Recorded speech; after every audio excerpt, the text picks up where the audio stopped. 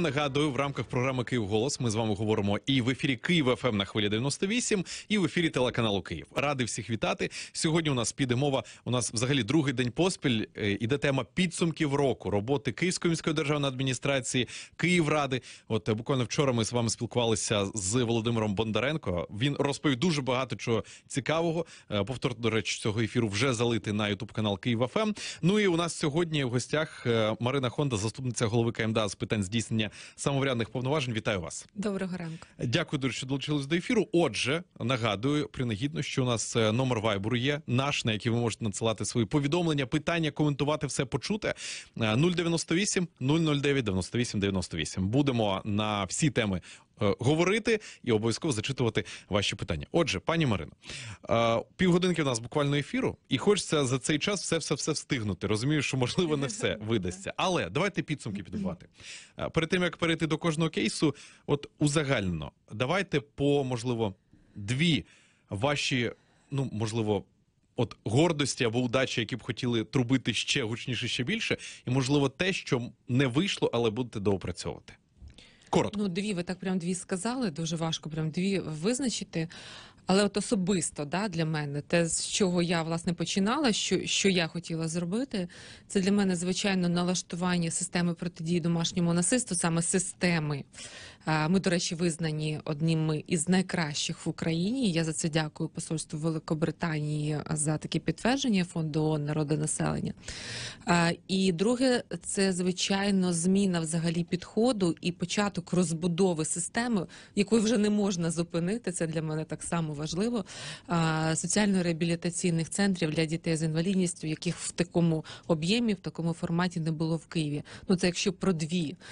Бо насправді дуже багато роботи зроблено. Вона в основному, знаєте, чиновники як вони ж ну немає часу взагалі розповідати, розповідати.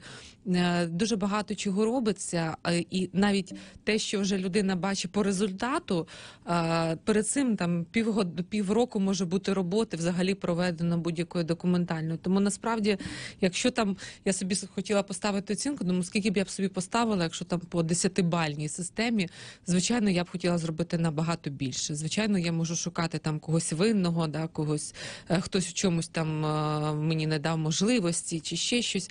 Е, Звичайно, я собі 12-ку точно не ставлю, тому що хотіла зробити більше. Але так десь вісімка, як мій син каже, вісімка, якщо пе- перегорнути безкінечність. е, От вісімку, да, вісімку, напевно, так, така тверда четвірка по-старому, то дійсно ну, поставити можна. Е, Є до чого ще йти, але от чесно, от ті самі реабілітаційні центри, вибачте, я вже про них буду говорити, якщо ви не заперечуєте. Я тільки за якраз язика зірвало. Е, нагадаю, нагадаю нашим слухачам і теле- телеглядачам, що цьогоріч відкрито новий і перший в місті центр трудової професійної реабілітації для осіб з інвалідністю старше 18 років. Більш детально про це, будь ласка. А, ну, ви знаєте, дивіться, у нас насправді пам'ятаєте всі радянські часи. Хто пам'ятає, да, у нас дітей з інвалідністю не було, людей з інвалідністю не було. Ми їх не бачили, не чули, не хотіли бачити. І системи як такої. Послуг її не було. Існували утоги, утоси, які закривали частково питання да, щодо людей з вадами зору слуху. Але щодо важких е, е, інвалідностей, да, дітей з інвалідністю, системи послуг, як це передбачено в Європі, її не було. І 30 років були інтернати, були е, ну, якісь закриті відділення. А от щоб системно побудувати ні. І ми для себе таке завдання взяли. Це складне завдання розбудувати систему не лише там ранні втручання, соціальна реабілітація до 18, 18-35 трудова реабілітація і 35 плюс це е, ну велика така система на майже 4 мільйонне місто в кожному районі.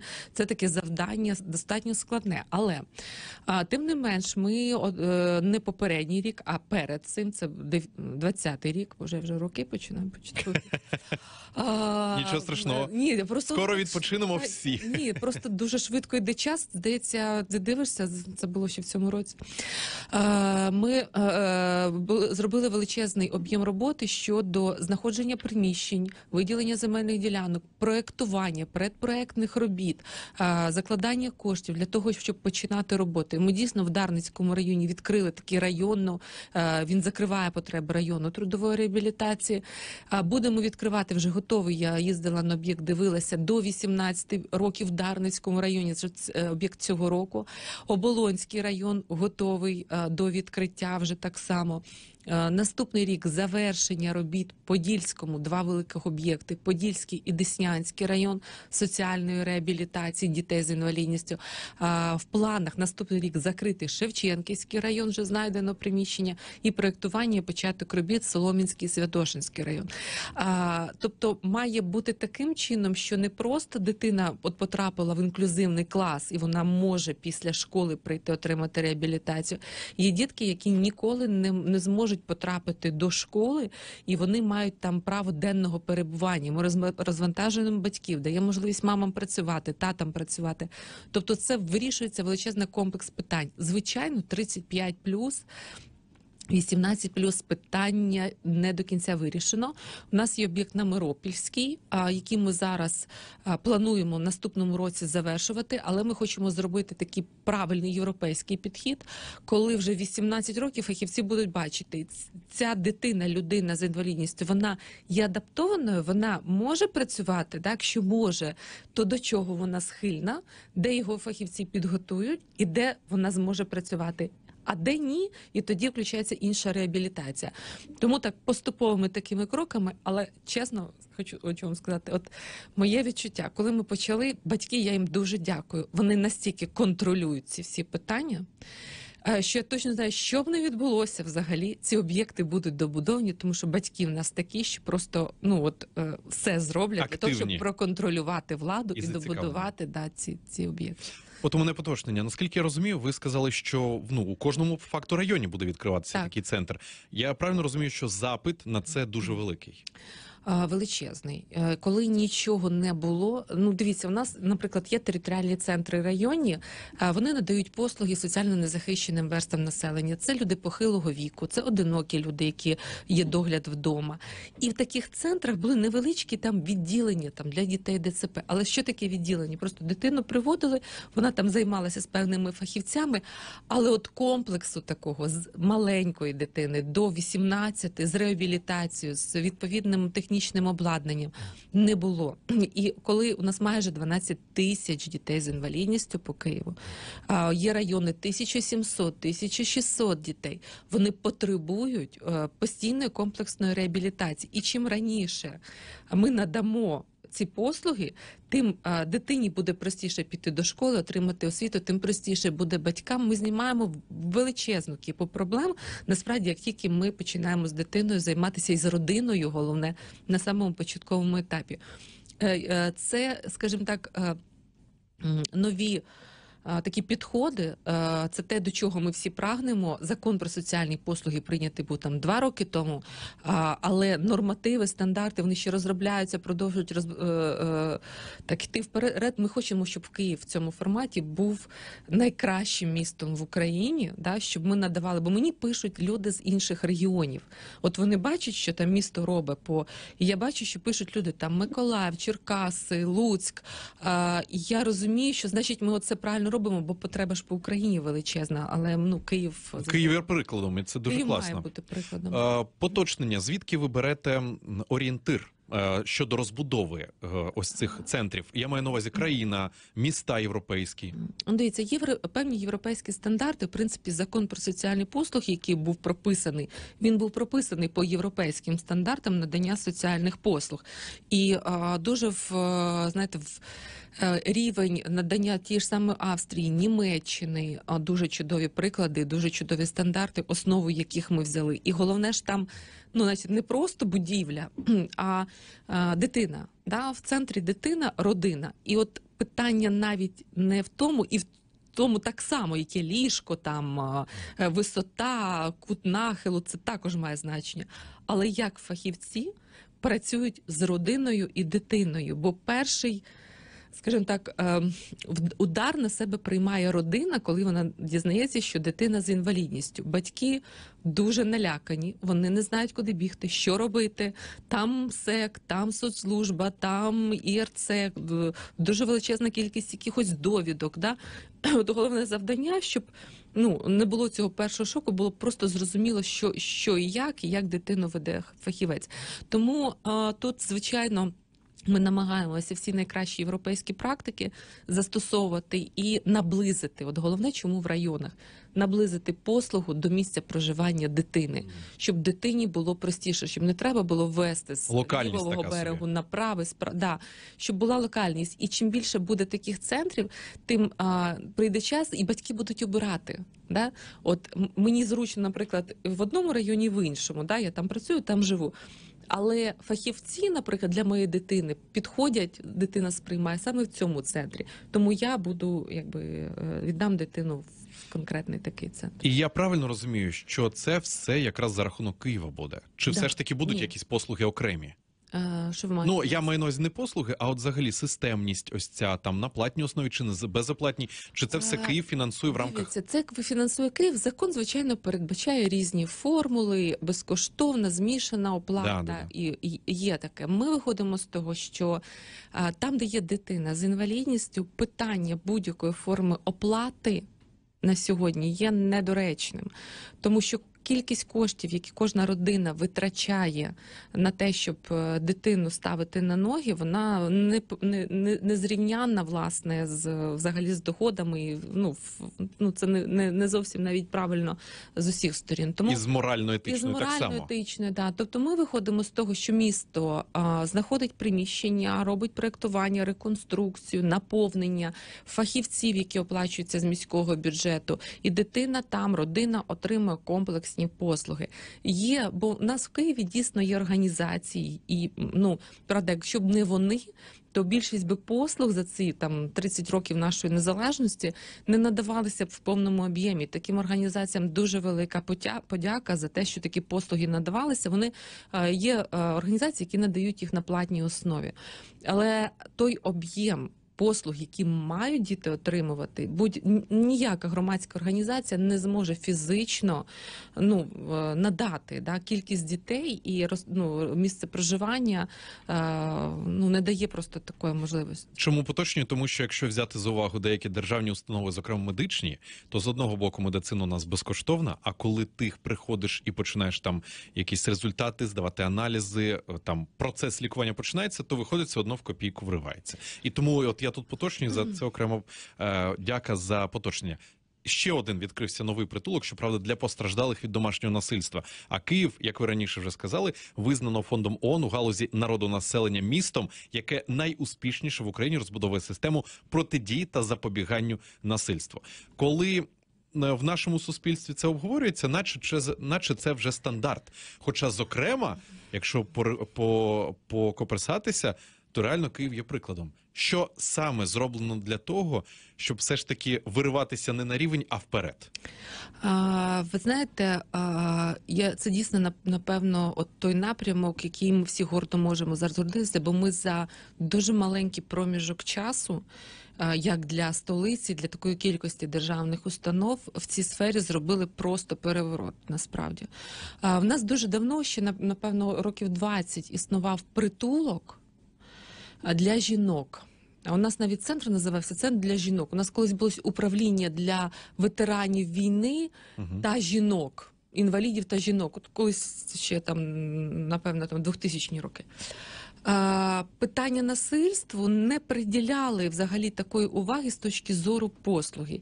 І притулок він, знаєте, я коли перший раз туди поїхала, я не могла зрозуміти, чому немає людей і в чому проблема. Система. Да? Питання не в приміщенні навіть, а питання в тому, що з людиною відбувається, коли вона потрапляє в таку ситуацію. Хто з нею працює? Чи працюють фахово юристи, психологи? Який відсоток повернення жінок з притулку до кривдника? За два роки без я тоді хочу, я про це завжди говорю. На мене іноді деякі міста так дивилися, бо у нас була зустріч з головами міст. Ми перший рік працювали абсолютно без бюджетних коштів за кошти донорських організацій, за кошти меценатів. Ми відкрили тоді дві кризові кімнати, і вони нам показали наскільки, бо кризова кімната це 10 днів перебування. Угу. А наскільки є проблемною, е, що йде далі, да? де жінка е, з дитиною має перебувати після 10 днів для того, щоб завершити як мінімум а, вирішення юридичних питань. І у нас став перетулок бути переповнений. Виявилося, бо там від 3 до 6 місяців, да? то таке термін, ну, довгострокове перебування, по суті. І в нас ну, дійсно стала проблема, що в нас не вистачає притулку, тому що кризові вони постійно якби наповнюються, особливо чомусь влітку. У нас це було з червня місяця. Постало питання притулку, і е, зараз вже в новому притулку вже проживають е, е, постраждалі. Е, але е, це ж ну якби ще говорю, не це питання не просто в стінах, бо ми зробили аналіз реальний. У нас, по-перше, збільшилася кількість звернень. Якщо там два роки тому було 8 тисяч, зараз 23 тисячі звернень Нічого до поліції. І це тільки Київ. Це тільки Київ, а це тільки ті, хто вже фізичне насильство в стані, коли вже не можна терпіти. А коли є психологічне, економічне, дуже ча- часто незрозуміло. До речі, чоловіки не телефонують знову ж таки по соціальним цим нашим стандартам, що чоловік не має жалітися, хоча відсоток насильства щодо чоловіків так само існує. Аналогічно щодо дітей, людей похилого віку, чоловіків, жінок від дітей. Є різні категорії, і не треба робити вигляд, що цього немає. Я розумію, що людина, яка з цим не стикалася, їй важко зрозуміти, ну взагалі це про що.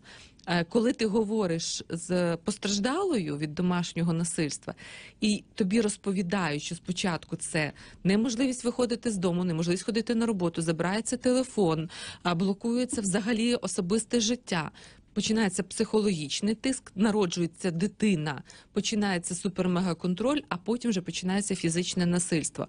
От коли ем, ти розмовляєш з такими людьми, розумієш, що там, ну вибачте, жінка може бути без зубів, там з поламаними ребрами, а, дитина а, це все бачить. А, дитина це вже кримінал. Ну це вже навіть не тиск. Ну а, не ні, насильство. я кажу, що психологічне дуже часто завершується фізичним. Да? І от ми собі поставили завдання зробити ще один денний центр на лівому березі для того, щоб мінімізувати. е, Власне, кількість потраплянь вже в кризові кімнати, бо кризові це в нас що? Це вже ну дійсно ситуація, коли є критичною. Е, е, Ми отримали державну субвенцію на е, денний центр. Зараз завершується його капітальний ремонт, і в наступному році він вже повноцінно буде працювати. Але чому от нас відзначили міжнародні організації? Да, я теж запитала, чому от ну Київ відзначили. Ну ми ж ніби просто робимо все по тим стандартам, які є для всієї України. І знаєте, що я почула? Що Київ єдине місто в Україні, де система протидії домашньому насильству вона є комплексно згуртованою ну, в єдиний блок. Да? Немає розриву між різними службами. Да? Є кризова, є притулок, є міські центри, є кол-центр, який ми зробили. І е, люди, які там працюють, розуміють, де жінка, як потрапила, що з нею сталося, куди вона йде потім. У нас жодна жінка не повернулася до кривника після притулку. Жодна. Е, ну, ми вважаємо, що це ну такий от. Результат дійсно роботи. Якщо наша робота ну, врятує хоча б одне життя, або ну от од, од, одну сім'ю, ну ми будемо вважати це перемогою. До речі, ми в цьому році відкрили вперше кімнату дружнього опитування дитини, бо а, знаєте, це біда в нас, бо дитина, як правило, вже є фактично постраждалою від домашнього насильства. Дуже часто, на жаль, діти є постраждалими від сексуального насильства в родині. І коли маленьку дитину возять до е, суду, до поліції на допит, е, ну на опитування, дитина отримує додаткові стреси. Тому ми відкрили спеціальну кімнату, де йде відеозапис, де і психолог працює з дитиною, і один раз можна з дитиною поспілкуватися. Цього буде достатньо для всіх структур для того, щоб приймати рішення, щоб дитину не е, постійно якби не возити. От у мене знову ж таки поточення. Пам'ятаєте, ми на одному з форумів якраз присвяченому протидії е, домашньому насильству, говорили про те, що одна справа, коли е, з радянських часів людям нав'язано те, що от жінка це її місце на кухні. Якщо чоловік б'є, значить так треба. Е, Але от я здивувався серед моїх знайомих, я звісно не буду назвати імен. Вони подружжя, доволі молоде, йому десь там 35 їй 30. І тобто було кілька разів, що він її вдарив, були сварки, було то. І я кажу, то ну тим більше, що ну от ось я, я там е, знаю ці всі там. Е, Соціальні питання в рамках там Київської міської державної адміністрації. Давай щось зробимо, давай звернуся. Ну це ненормально. Ні, ну слухай, ну я ж дружина. Розумієте? Тобто, навіть нав'язане от молодим людям, не тим, якому там за 60 з радянських часів, а навіть зараз. Чому? От ви знаєте, тому тут і питання таких от денних центрів. Чому там а, працюють психологи? А, не треба ніколи думати, що психолог це ж там ти психо, психічно якась хвора. Ні. Питання в тому, щоб тобі показали, що є нормою, а що є не нормою. Насправді можна прожити 20 років, наприклад, з людиною, вважати, ну я ж дружина, ну він же ж там, ну не знаю, там гроші додому приносить, дітей любить там і так далі. Але через якийсь час ти розумієш, що ти втратила себе, тебе немає. От як людини тебе немає, ти не насолоджуєшся життям, ти живеш в постійному страху, ти є по суті, ну десь в якомусь сенсі рабинею, да чиїхось забаганок, ти втрачаєш людську сутність, не жінки, людську, да, своїх прав. І е, тут питання психологів, як психолог зможе повернути. Чому так виходить? Тому що це йде все одно з родини, в якій людина виховалась. Е, якщо кривдник піднімає руку, це в нього було в родині. Да, якимось чином. Якщо жінка це сприймає як даність, це аналогічно якимось чином було в родині. А, тому а, це питання, знаєте, вже напевно час має пройти, щоб ми це сприймали нормально. Я вам хочу сказати, що на- напевно вже 20-25 років ну, вже такого немає. Вже по-іншому от молоді люди відносяться до взагалі прав і обов'язків в родині, взагалі до а, ну, того, ну що я можу робити, що не можу робити. І тут велике значення має медіа. От величезне просто. Чим більше через медіа показувати історії. Чим це може завершуватись? Як з цієї ситуації виходити? На таких от прикладах е, починають задумуватися, а не а зі мною так само. Ну це я так. Ну от зі мною так само відбувається. Тобто, це може таким завершитися. Ну е, мені здається, саме приклади дають е, можливість і пояснення, що те, що ти дружина, не означає, що ти рабиня. От ви зокрема поточнювали і акцентували увагу на ще одній, ну чи можна назвати це проблема, але от ви сказали, що з будівлями питання вирішене. Е, Територія є, квартири, кризові кімнати є. Але чи є довіра до правоохоронної системи в тому, що зараз дружина або чоловік, які звернулися по допомогу, вони. Ну, по факту пожалілися, попросили допомогу, а потім, коли вона або він повернуться, чи не буде гірше? Чи є такі гарантії? Це вже, зокрема, я розумію, не до вас питання, а можливо до закону. Дивіться, закон виписаний достатньо нормально. В нас одні задають іноді питання, чому ми забираємо постраждалого, не кривдника. Ну, по-перше, так прописано в законі. З іншого боку, е, постраждалій потрібно змінити. е, Взагалі, місце, де вона знаходиться. От тут її тільки що, вибачте, чуть не вбили. Да? І якщо її залишити в цих самих стінах, а, да, з цією трубою, да, бо такі ситуації бувають, а, е, ну, реакція і е, якби, можливість е, приведення себе до тями е, дуже-дуже розтягується в часі. Коли людину забирають, працює кризовий психолог і так далі, змінюється взагалі картинка, по-іншому йде сприйняття. А, Кількість звернень до поліції збільшена, говорить про те, що почали довіряти. Угу. Кількість судових рішень щодо притягнення до відповідальності говорить про те, що система судова почала по-іншому працювати. В районах міста Києва в поліції створені вже окремі навіть сектори по протидії домашньому насильству. Звичайно, ще сказати, що 100% все ідеально, ні. До речі, є гарантована державою правова допомога, якщо людина потрапила в таку ситуацію. І е, от сам факт факт збільшення, ну мені ну, доводить, що є вже якби така. Е, ну, довіра вже ну не стовідсоткова. Да, людина ніколи не буде довіряти стовідсотково.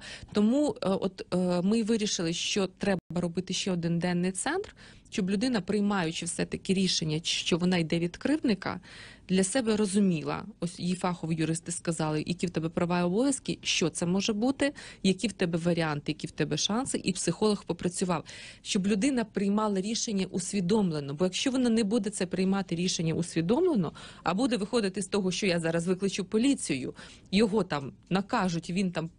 Е, Прийде, буде просити пробачення, і потім вже я подумаю його прощу, да, то це не внутрішнє рішення вийти з е, ситуації насиль- насильства, це маніпуляція. От для того, щоб е, ну, таке усвідомлене рішення приймати, да, треба якраз з фахівцями працювати. Е, не можна вирішити це питання от просто от так. У всіх країнах світу, навіть в заможних, це, е, це є. Ну, ну, треба просто прийняти той факт. Е, система держави не може вирішити всі питання людини, якщо людина внутрішньо не готова це вирішувати. Ну не можемо ми заставити. Ми можемо дати їй можливості. Можливість. Ми можемо дати послуги. Ми можемо показати дитину. Як правило, знаєте, жінки, коли бачать, що вже вона може терпіти щодо себе дуже багато. Коли бачить, що це стосується вже дитини. От тоді вже, як правило, терпець увірва, ну, все закінчився, да, вона бере дитину і вибігає. Але ж можна не доводити до того, щоб дитині було погано, бо це для дитини психологічний стрес на все життя насправді. А, тому на ваше питання. е, Чи довіра, чи, чи, чи... до, чи є довіра? В- е, е, Ну, до державних органів не довіряють наші люди ніколи. Да? Це, це нормально. Але м, вона збільшиться це точно. Точно є довіра до наших психологів, до фахівців, які. Просто допомагають от просто людям. Е, Якби я не бачила результату, якби я не бачила спілкування з е, постраждалими, ну я б не була впевнена. А так я бачу цей результат.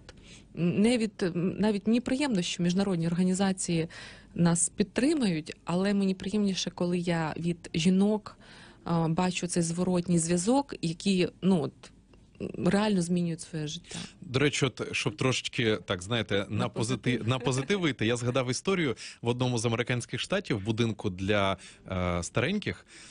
Бабуся, це про ну така історія про недовіру або там е, завжди вічне недовольство до державних структур. Бабуся в одному з американських штатів, будинку для е, стареньких, е, поскаржилася публічно, викликала засоби масової інформації, бо їй на обід надали м'ясо не медіум прожарки. Розумієте, да? Тобто, дивлячись, Рівень. які дивлячись, які стандарти, та але все одно буде критика негатив.